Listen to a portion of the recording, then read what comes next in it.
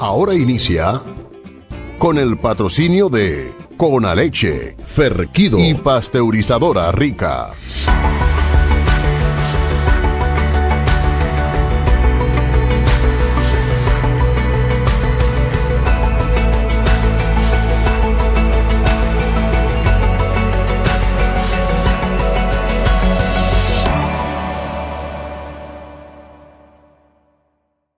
Amigos de la Ruta Agropecuaria Dominicana, darles la bienvenida a este programa de hoy, domingo 15 de enero. Manténgase aquí en Teleuniverso Canal 29, la imagen sin fronteras, para que disfrute del contenido del programa del día de hoy.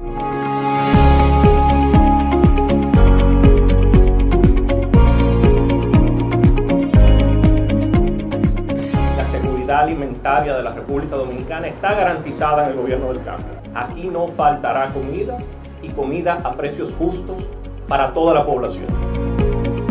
Los mejores precios fueron estos que han llegado aquí a Inegro. Está baratísimo, oiga, a 125 un pollo. Se sienten satisfechas todas las amas de casa. Comida barata, chévere, chévere.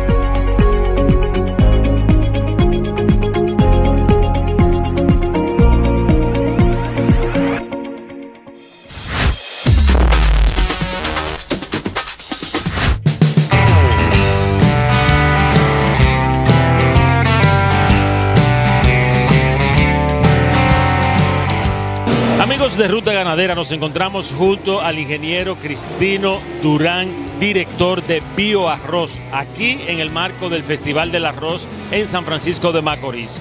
Una ponencia interesante sobre los trabajos que se vienen haciendo en la República Dominicana. Vimos que Bioarroz cumplió 60 años de fundado, lo que quiere decir que es una entidad madura y que han pasado por ellas importantes técnicos nacionales e internacionales. Lo más relevante aquí es eh, destacar que los trabajos que se hacen para colocar nuevas variedades que vayan en consonancia con los nuevos tiempos, ustedes lo vienen haciendo en esta entidad que es estatal, pero que se maneja con un concepto eh, muy profesional y muy técnico. Sí, muchas gracias. Sí, Bioarroz eh, cumplió la estación arrocera Juma, porque así era que se llamaba siempre. Bioarroz es la dirección del arroz del Ministerio de Agricultura que administra y está en la sede de, de la estación arrocera Juma. La estación arrocera Juma cumplió 60 años este mismo año y tuvimos la grata visita que nos acompañó a celebrarlo el presidente de la República, Luis Abinader, junto al ministro Limber y todas las autoridades del sector agrícola. Y en abril 22 celebramos esos 60 años, cargado de historia. La, estación se funda en el 62 con un convenio en el Estado Dominicano y la República de Taiwán. De allá viene un equipo de especialistas que junto a los especialistas dominicanos empiezan la tecnificación del cultivo de arroz. Porque no era así que se sembraba. Aquí empezaron nuevas metodologías, arroz de riego, introducción y mejoramiento de variedades, la fertilización, la protección vegetal, todo eso, todos esos aspectos se fueron, se fueron estudiando y desarrollando y hoy por hoy la producción nacional es totalmente satisface la demanda de la población dominicana. Somos autosuficientes en arroz. Si tenemos que traer arroz de fuera, es una partida de Tratado Libre Comercio, pero no porque necesitemos arroz. Cristino, vimos en la ponencia que se han lanzado recientemente dos nuevas variedades. Una en el 2020 y otra ahora en este mismo año 2022. Háblanos de ella. Sí, la, son, ese trabajo se lo debemos al doctor Federico Cueva Pérez, que fue un eminente científico dominicano que se estudió con un PhD, que hizo su tesis en el IRRI, Filipinas, y luego de trabajar mucho tiempo en el CIAT, Colombia, el Centro de Investigaciones, pasa a Estados Unidos a trabajar con la principal empresa de semillas de Estados Unidos. A su retiro, viene a trabajar con Dominicana, con nosotros, y ahí empezamos un bioarroz. Y se empezó a trabajar con lo que son el desarrollo de materiales mutagénicos, mutagénicos que son variedades que tienen la tolerancia de, tolera de resistir herbicidas, graminicidas totales. Entonces lanzamos en el 2020 la primera y esa 2020, que fue la primera, 6920, este año ocupó el 65% de la geografía nacional. El arroz que se sembró. El arroz que se sembró de esa variedad. Y ya ahora mismo ya estamos ya ah, lanzando comercialmente para sembrarse a partir de diciembre la nueva variedad, que son tolerantes a diferentes familias de herbicidas. Y por eso podemos rotarla. La 7022. La 7022 va a estar puesta en disposición de los productores ahora en, a partir de diciembre. La primera, la 6920, LRC. LRC es la marca comercial registrada del Ministerio de Agricultura para alta tecnología. Entonces la LRC 6920 Jumas es tolerante a una familia que se llaman los ACCASA, que son graminicidas que se utilizaban en cultivos de repollo, cultivos de zanahoria, remolacha, pero que ahora lo podemos utilizar en arroz.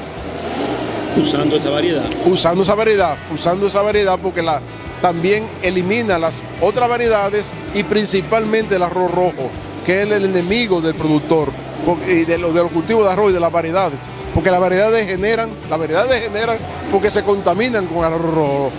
El arroz rojo es el enemigo principal de los productores y de la, y de la producción de semillas también. Nuevo proyecto de bioarroz. ¿En qué están?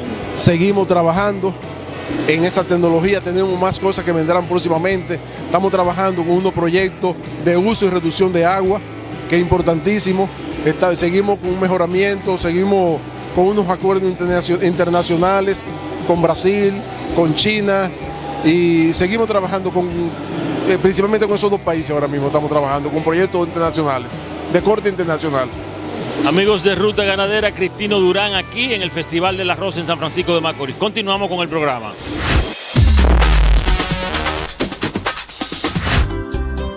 Desde el miércoles 25 hasta el domingo 29 de enero regresa la séptima exposición lechera regional Expo Montaña 2023, dedicada a la familia Boegli, criadores por excelencia de la raza pardo suizo. Ven con toda la familia para que disfrutes durante estos cinco días de la labor del hombre del campo liniero kilómetro 3, carretera Santiago Rodríguez, Mao. Recuerda, desde el miércoles 25 hasta el domingo 29 de enero. Te esperamos. Amigos seguidores, Conviértete en un patrocinador de tu programa Ruta Ganadera buscándonos en www.patreon.com o dando clic en el link disponible en nuestras redes sociales. Así podrás elegir el nivel de suscripción que prefieras. Bronce, plata u oro con 3, 9 o 25 dólares mensuales a través de tu tarjeta de crédito o débito. Recuerda, tu contribución cuenta.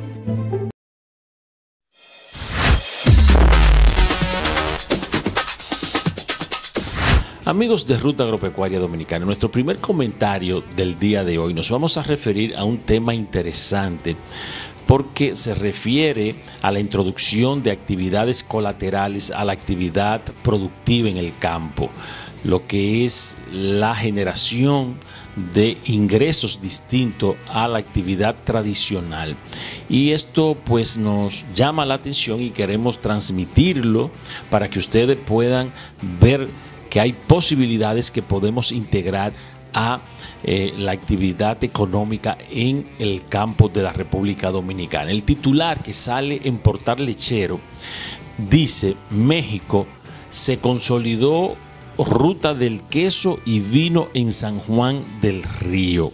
Esta información dice que durante el año 2022 la ruta del queso y el vino se consolidó como un atractivo turístico en San Juan del Río, toda vez que la apertura de viñedos en la demarcación propició la atención de visitantes que regularmente se dirigían a los municipios vecinos de Teclixquipan y Ezequiel Montés para encontrar este atractivo, afirmó el miembro de la Asociación de Guías de Turismo del Estado, Gustavo Ríos Garduño.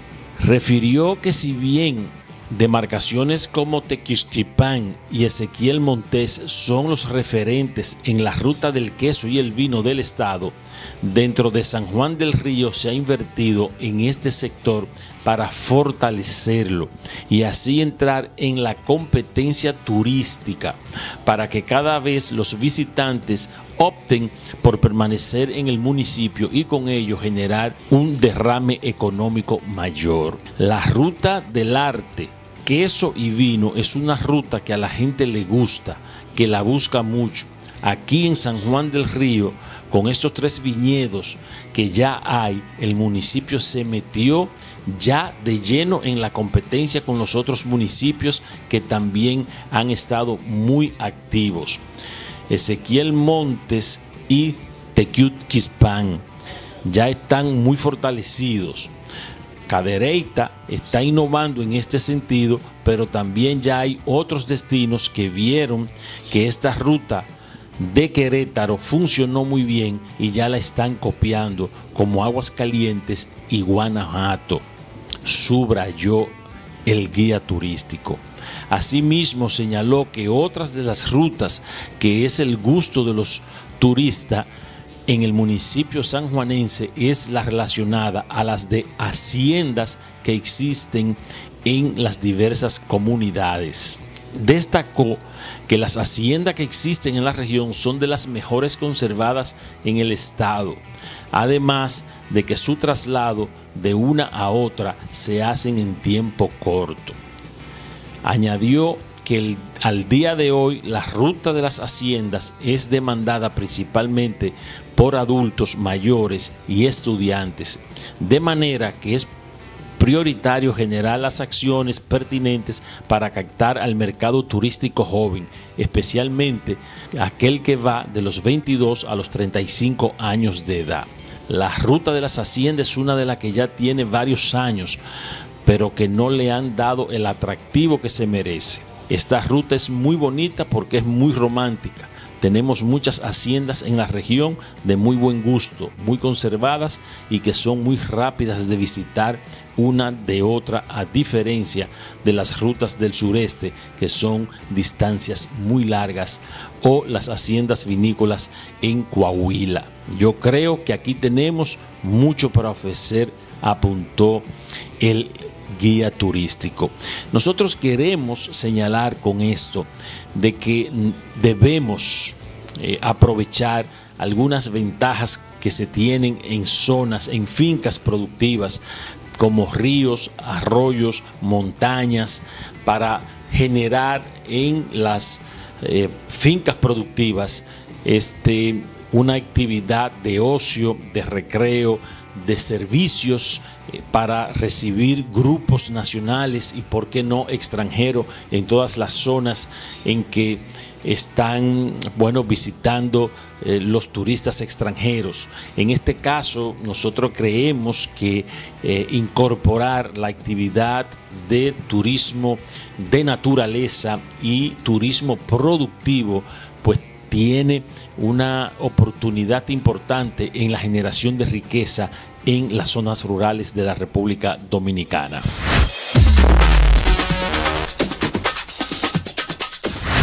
En Servicios Ferroagro estamos comprometidos con el desarrollo competitivo de nuestra agropecuaria. Por eso nos preocupamos en brindarte las más eficientes alternativas para tus necesidades en el campo. Todo en sistema de riego, aspersión, microaspersión, goteo, todo en bombas para agua, sistemas de producción de energía solar, diseño e instalación de cables vías, implementos y maquinarias a tu medida. Ven, visítanos y confíanos tus inquietudes, que juntos tendremos la mejor solución. Calle Peña Valle, casi esquina Ortega y Gasset en Santo Domingo, con el teléfono 809 565 9787 y en Santiago, Villa González, en el 809-580-0099. Ferro Agro, al servicio del campo.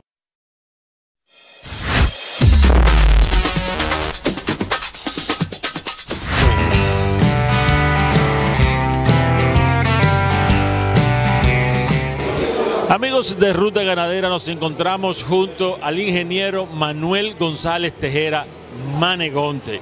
Y hablar con Manegonte en este acto de celebración del 50 aniversario de AFIPA es, sumamente interesante porque todos conocemos a Manegonte en el campo, en los laboratorios de Bioarroz, lo que era la estación de Juma, eh, bueno, trabajando en los campos arroceros y en otras áreas, ¿no? Pero saber que Manegonte fue presidente de AFIPA en tres periodos es sumamente interesante. Y esa fase, Manegonte, dentro de las empresas eh, más importantes de la República Dominicana. Bueno, mira, eh, a mí me tocó presidir AFIPA a principios de, este siglo, de inicio del siglo.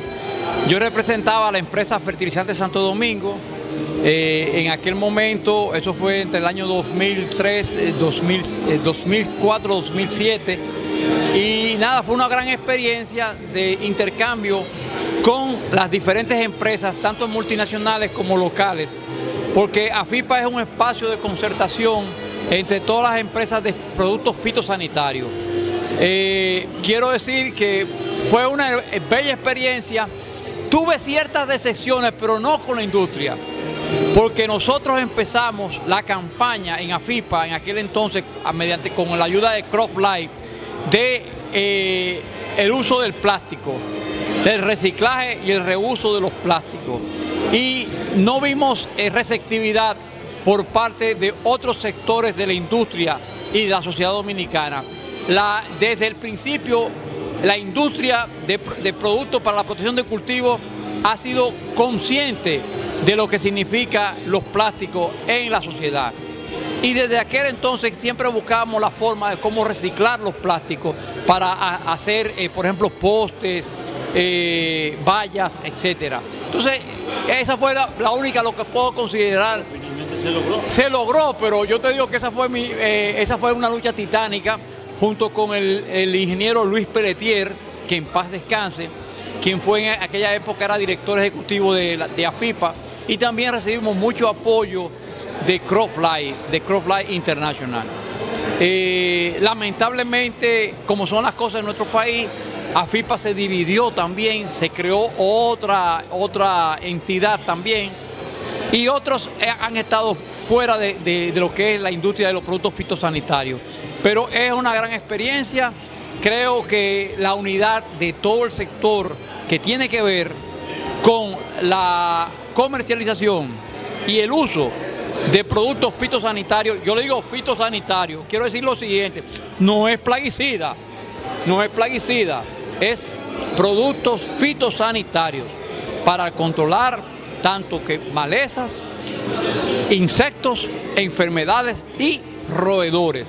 Y la participación de AFIPA en la sociedad ha sido, en estos 50 años, ha sido de preponderante eh, importancia. ¿Tú sabes por qué? Porque nosotros hemos sido un complemento para el Estado Dominicano en cuanto a la extensión de tecnología. Y como tú sabes, la Revolución Verde eh, significa dentro del uso de tecnología, junto con la mecanización y la nutrición y el mejoramiento varietal, la protección era, es fundamental para eh, obtener mayores rendimientos en menor cantidad de área y alimentar más personas en el mundo. Amigos de Ruta Ganadera, si habla un expresidente de AFIPA aquí en el 50 aniversario. Continuamos.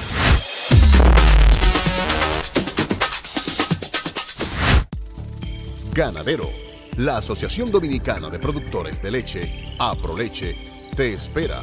Ven, inscríbete, participa y fortalezcamos nuestras instituciones. Además, recibirá nuestros servicios y productos. Para mayor información, estamos en los teléfonos 809-535-6624, 809-535-6595 y 809-534-7734. Nuestro correo electrónico aproleche arroba claro.net.do. Por una ganadería de leche fuerte, inscríbete participa. Así nos fortalecemos.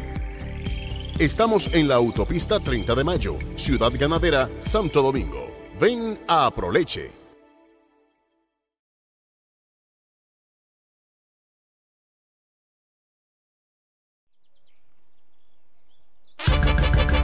Yo estoy creciendo fuerte. Y yo creciendo bella. Con Chocorrica. Con Chocorrica. Con Chocorrica.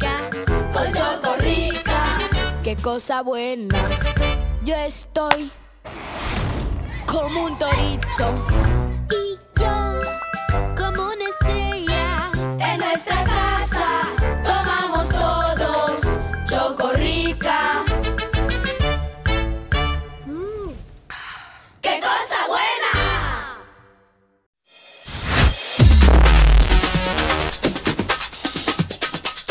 Amigos de la Ruta Agropecuaria Dominicana, en nuestro segundo comentario del día nos vamos a referir a un tema que está sobre el tapete, que es de interés de la opinión pública nacional y sobre todo de los productores del subsector avícola, específicamente del sector productor de huevos, porque se produjo una decisión de parte del gobierno dominicano que tenía como objetivo pues limitar las ventas de los huevos al mercado de exportación del hermano país de Haití.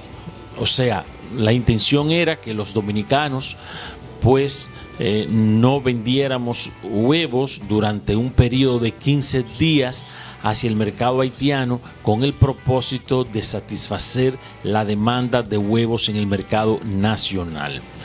Nosotros pues vimos con bastante preocupación eh, la toma de una decisión como esta, porque es una decisión que aunque tiene un objetivo principal que es satisfacer la demanda nacional evitando que los precios se puedan disparar, porque no es otra cosa que no sea esa, pues entonces eh, creamos un mal precedente y eso ha sido histórico. Los funcionarios públicos, cuando están dirigiendo las entidades del Estado, tienen como principal objetivo que la población pues no se sienta afectada con los precios de los productos de primera necesidad. Y en este caso el huevo es un eh, proveedor de proteínas, de las proteínas animales más baratas que puede accesar el eh, pueblo consumidor de la República Dominicana. Pero definitivamente nosotros entendemos que se hace necesario hacer una evaluación estratégica cuando se toman medidas de esta naturaleza. Desde nuestro punto de vista, una medida equivocada, eh, estructurada en unos fundamentos que eh, fueron por una reacción urgente de contener la posible alza de los precios de los huevos, pero que definitivamente le hacen un efecto eh, dañino al sector productor nacional y a el sector exportador de este eh, producto de la pecuaria nacional. Porque usted tiene que mostrar este capacidad de abasto, confianza a sus compradores.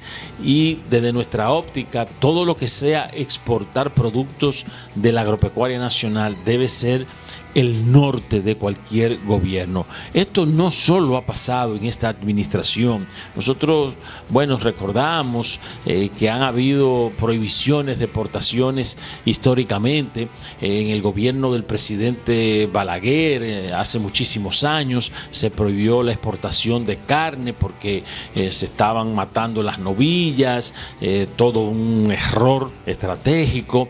bueno, porque la demanda va a crear la producción y entonces usted no puede limitar, frenar, coartar pues la actividad comercial de un eh, subsector que se está desarrollando. También, pues recordemos lo que pasó con aquel eh, impuesto que se le puso a los productos este, de exportación eh, café, cacao, los productos tradicionales, eh, un ad valorem eh, de un 36% en, en, la tasa de cambio para los exportadores de productos de exportación de los productos tradicionales. O sea, han habido medidas que han sido negativas porque han sido mal estructuradas. todo el mundo está de acuerdo en que el rol principal es satisfacer el mercado nacional, no eh, jugar a que haya un desabasto y que haya, bueno, pues un incremento de precios porque eh, no hay la suficiente eh, producción y entonces la demanda dispara los precios. En este orden, pues nosotros consideramos que la acción debió ser estratégicamente evaluada. Si no hubo la previsión suficiente en el tiempo necesario de que las gallinas dominicanas pues se producen alrededor de 250 millones de huevos mensuales. Y había la necesidad de que se estaba exportando más del 20% que tradicionalmente se exporta hacia el mercado Haití, o sea, unos 50 millones de huevos al mes, pues entonces eh, se debieron programar importaciones de huevos como se hicieron hace un año que se trajeron desde Bélgica, alguna cantidad de huevos en medio de la crisis eh, de la guerra con Ucrania y, por efectos de la pandemia, pues debimos ser eh, eh, proactivos, crear mecanismos inteligentes, pero nunca castigar al mercado natural que tienen los productores de huevo, que es el mercado haitiano. Nosotros no compartimos bajo ningún criterio Nunca que se pueda limitar la exportación de un rubro agrícola. Sería lo mismo que decir, no pueden venir eh, más turistas porque no tenemos suficiente alimento en la República Dominicana. Esa simple comparación pues nos dice a nosotros que eh, estaríamos hablando de una medida con poca este, evaluación estratégica porque el fin estamos todos de acuerdo, eso no hay que discutirlo. Nadie quiere que se disparen los precios en el mercado interno para los dominicanos. Todo el mundo, porque el productor está conectado emocionalmente con su pueblo, con su país, porque eh, producir es una labor casi altruista.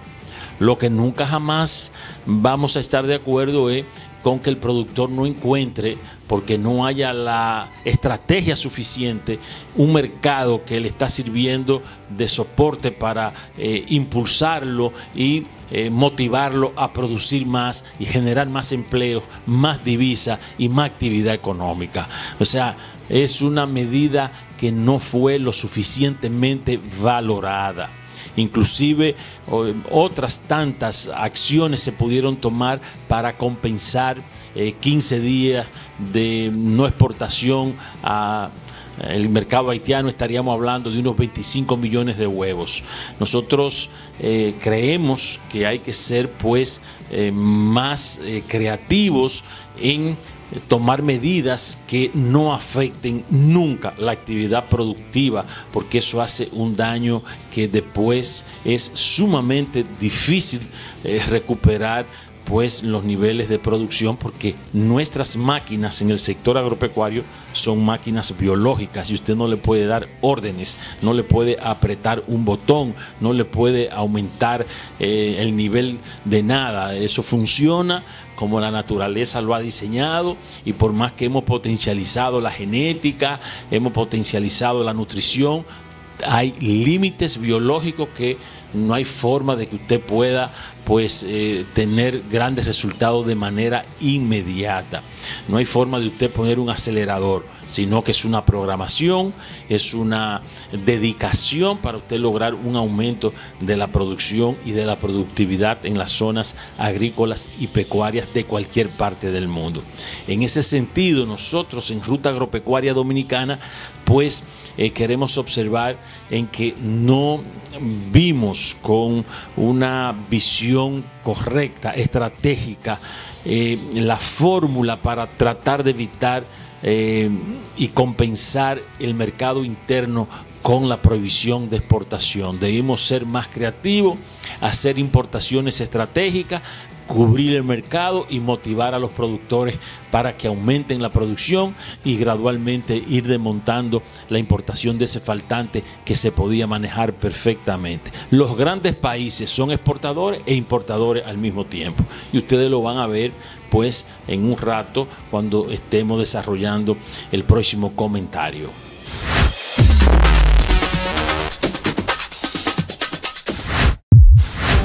Habla el licenciado Leandro Vargas. Ganaderos, administradores de centro, recuerden que la utilización de envases en acero inoxidable y aluminio es de vital importancia para mantener la calidad higiénica de la leche. Mensaje patrocinado por Conaleche, fomentando la leche. Lo que vivimos de sembrar y cosechar, sabemos que cuando menos lo pensamos llegan los tornados, inundaciones o sequía. Pero, hombre precavido, vale por dos. Protegemos todos los cultivos y crianzas a nivel nacional. Frutales, hortalizas, ganado vacuno, crianza de pollos, invernaderos, maquinarias agrícolas. Acércate a nuestras oficinas ubicadas en las sucursales del Banco Agrícola en todo el país. Agrodosa, la garantía del productor.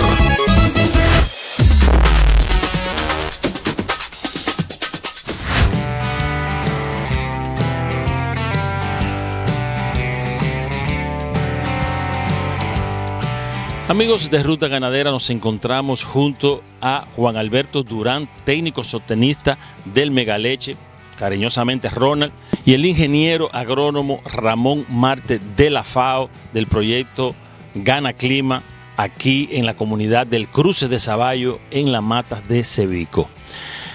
La importancia de esta intervención de ambos técnicos es para contarnos en qué consiste este proyecto de eh, ganadería climáticamente inteligente. Ramón, si definimos esto, ¿a qué nos estamos refiriendo? Bueno, el- la ganadería climáticamente inteligente nos referimos a mitigar los efectos del cambio climático y en este caso nosotros andamos eh, buscando la reducción de las emisiones en, en este sistema de ganadería, de sector ganadero, Emisiones de gases de, de gases de efecto invernadero. exacto. Ramón, ¿cómo surge el proyecto? ¿Quién es el, cuál es el organismo que eh, plantea la necesidad de esto y quiénes están interviniendo? ¿Cuáles instituciones? Bueno, eh, ya este tipo de proyectos de ganadería climáticamente inteligente es un concepto de FAO, ya lo, lo- se ha aplicado en otros países como en Ecuador y Uruguay, y en República Dominicana entonces FAO también trajo la idea y es financiado por, eh, por, el, eh, por el Fondo Mundial del Medio Ambiente y por socios del país, el Ministerio de Agricultura, quien lo lidera realmente es el Ministerio de Medio Ambiente. Está Conaleche, está la Dirección General de Ganadería y está la Federación de Ganaderos, como es Fegacibao. Para este caso Fegacibao, porque la provincia Sánchez Ramírez pertenece a Fegacibao. ¿Cómo se determinó o cuáles son los criterios para elegir las fincas? ¿De qué tamaño y cuál es el concepto de, de estas fincas que deben entrar al proyecto? Sí, eh, los criterios de selección para las fincas, eh, que le llamamos fincas piloto, para hacer esta, esta medición de manera piloto, eh, tienen unos criterios que se basan en una resolución que el Ministerio de Agricultura emitió sobre lo que son las fincas familiares. Es decir, que en este caso las fincas que se seleccionaron como piloto deben de tener unos criterios como es el tamaño de la finca, que no pase de 500 tareas y no más de 100 cabezas de ganado bovino. Y este, me imagino que tienen, por las limitaciones del proyecto, porque es un proyecto piloto, eh, zonas, áreas seleccionadas, o sea, no está en todo el país. Sí, exacto, así mismo es, eh, David. Eh, este proyecto está concebido para la cuenca del Yuna. Son ocho provincias. Y, y se incluye Samaná, la parte de las galeras, el Catey, una parte de Monte Plata que está en la cuenca, que es Sabana Grande de Boyá. Y luego La Vega, la provincia Duarte, la provincia Monseñor Noel, eh, algo de la provincia eh, María Trinidad Sánchez, otra parte de la provincia de España. Y Sánchez Y Ramírez. Sánchez Ramírez, ¿Dónde está? donde estamos ahora mismo. La combinación de los técnicos del Megaleche, que son de la Dirección General de Ganadería, con el proyecto, cuéntanos. Sí, exacto. Eh, el, proyecto, la parte de asistencia técnica y de seguimiento a todo este sistema de las fincas pilotos, de la capacitación con los, con los y las productoras, es, eh, nos apoya el programa Mega Leche de la Dirección de Ganadería, que son socios mismos del proyecto. Entonces, tanto para, para darle seguimiento a todas estas acciones que, se hacen en la finca piloto, se hace en ju- conjunto con ellos. Eh, la- las capacitaciones a través de las escuelas de campo también se hacen con ellos. Si se hacen encuentros, si se hacen giras, todas las acciones de asistencia técnica y de transferencia de conocimiento eh, se hace directamente con los técnicos de Megaleche. Ronald, eh, te ha tocado a ti esta finca de esta pareja de esposos que tienen aquí en el cruce de Saballo, en la mata de Cotuí, darle seguimiento y asistencia técnica. Eh, previo, nos imaginamos que tú tuviste pues, alguna retroalimentación de estos conceptos de finca climáticamente inteligente. Cuéntanos esa experiencia. Bueno, ha sido una experiencia muy buena. Eh, cuando se inició, el cuando yo eh, llegué aquí a Cotuí, había una técnica asignada aquí visitando. Entonces, la primera persona aquí cuando yo llegué fue la persona aquí de Crucita. Y fue una experiencia muy buena porque he aprendido, desaprendido para aprender a través del proyecto y también a través de las capacitaciones que se han dado aquí. Bueno, tú dices que has tenido que volver a aprender porque estos conceptos tienen mucho que ver con el medio ambiente y entonces el uso de agroquímicos, fertilizantes herbicidas, todas esas son eh, cosas que este proyecto trata de sustituir por eh, buenas prácticas y prácticas eh, manuales y de eh, convivencia de la naturaleza. La receptividad de los productores, ¿cómo es? ha sido muy buena.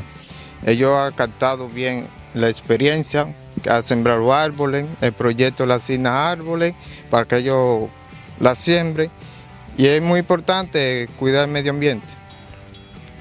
Amigos de Ruta Ganadera, los técnicos del proyecto de Fincas Ganadera Climáticamente Inteligente. Continuamos con el programa.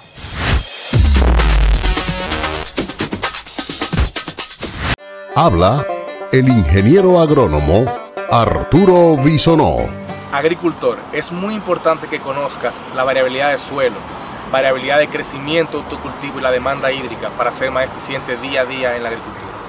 Habló el ingeniero agrónomo Arturo Bisonó.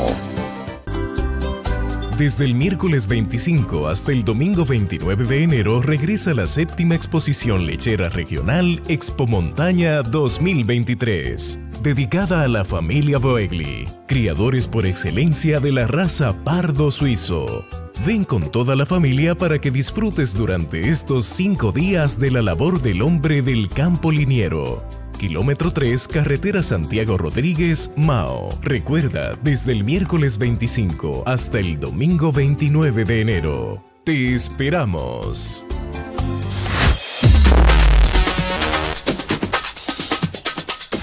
Amigos de Ruta Agropecuaria Dominicana, en nuestro tercer y último comentario del día nos vamos a referir a una información que sale publicada en contexto ganadero y que se refiere a la posición de los mayores exportadores e importadores de carne vacuna en el año 2023, este año que está comenzando.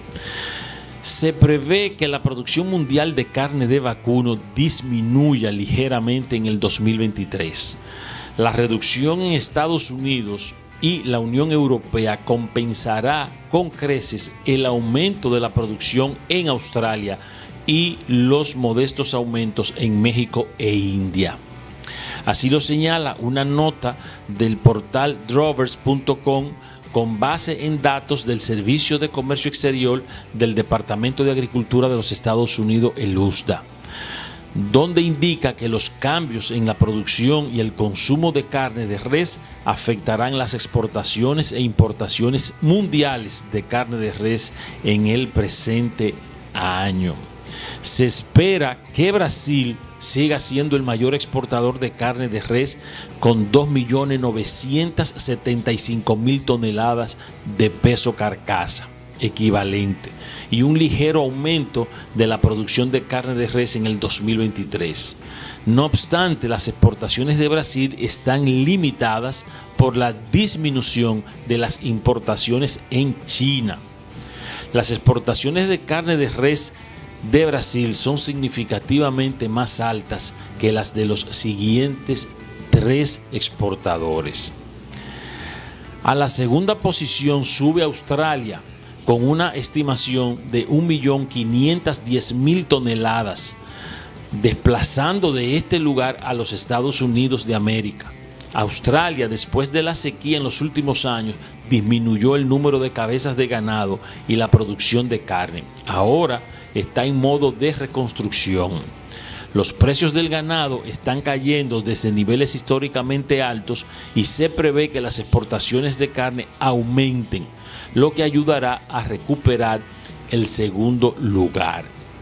En la tercera posición sigue la India, de acuerdo a las previsiones del Departamento de Agricultura de los Estados Unidos, que prevé que las ventas externas de este país lleguen a 1.475.000 toneladas al finalizar el año. Por su parte, Estados Unidos, el segundo país exportador de carne de res en el año 2022 que acaba de concluir, con exportaciones récord o casi récord, caerá al cuarto lugar al ver disminuir las exportaciones por una menor producción, precios más altos de la carne de res y un dólar fuerte continuo. Fíjense lo que acabamos de decir. Estados Unidos es un gran exportador de carne de res en el mercado mundial, pero también es un gran importador de carne de res del mundo entero. Entonces eso fue lo que quisimos significar con respecto a los huevos. Podemos ser productores, exportadores, satisfacer el mercado nacional, pero también ser importadores, porque hay nichos en los cuales eh, hay momentos específicos en que puede caerse el flujo de producción y necesariamente importarlo. Y un buen proveedor, un buen suplidor es el que le garantiza a sus compradores que siempre le va a tener el producto disponible. Y eso era lo que había que hacer con el caso de los huevos. En el quinto escalón se mantendrá Argentina a pesar de que disminuirá su volumen exportable a 750 mil toneladas. Le sigue la Unión Europea con 650 mil toneladas, Nueva Zelanda con 630 mil, Canadá con 575 mil, Uruguay 535 mil y el top 10 lo completa México que movió a Paraguay al undécimo escalón en el mercado de exportaciones de carne bovina al prever ventas externas por 440 mil toneladas. Este es el grupo de países que suplen de carne de res al mercado internacional en, en volúmenes importantes de los primeros 11 exportadores a nivel planetario.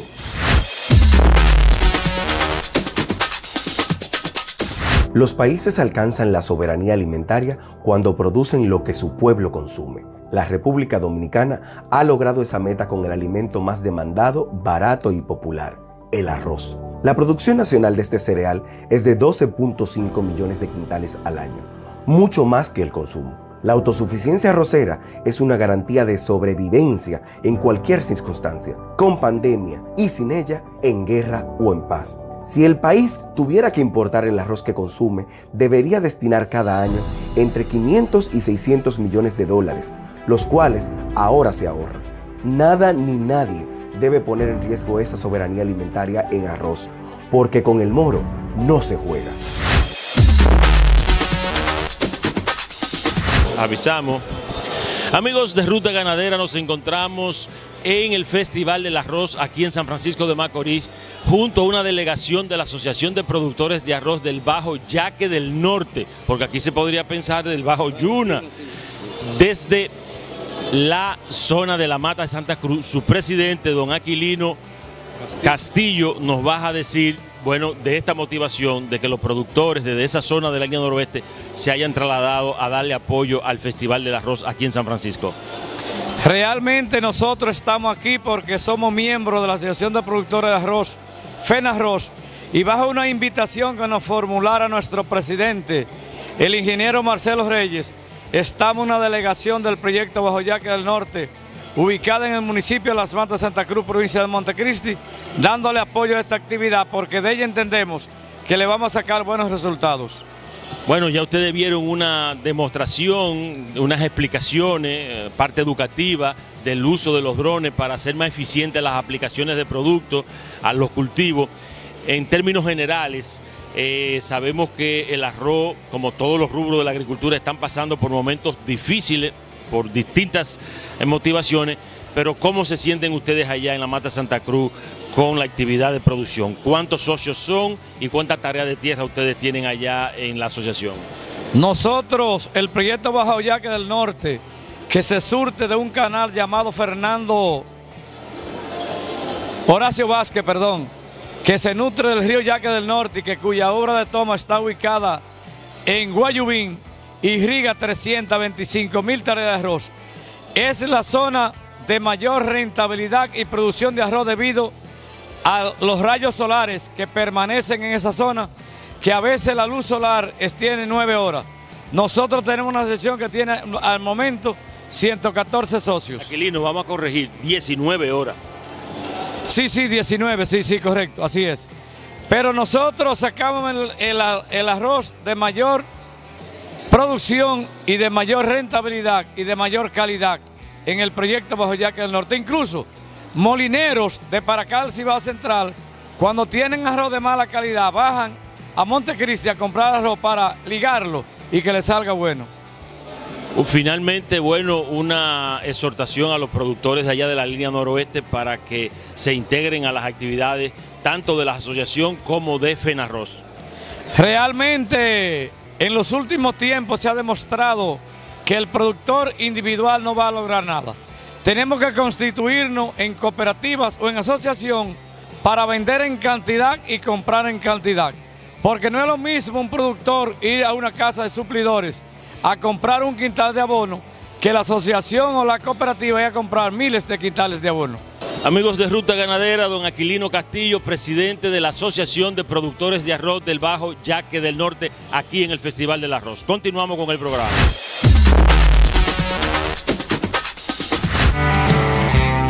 Hemos presentado Ruta Ganadera, la ruta de la agropecuaria dominicana. Gracias por habernos acompañado durante esta hora.